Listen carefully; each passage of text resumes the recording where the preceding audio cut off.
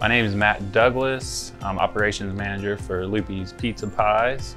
Lupi's Pizza is a local pizza company in Chattanooga. We have five locations. As far as Southern Champion products go, we use three of the white bakery boxes.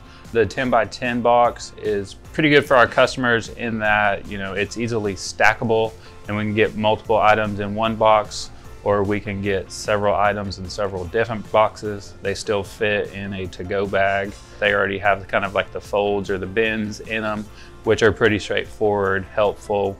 We've never had a problem with them.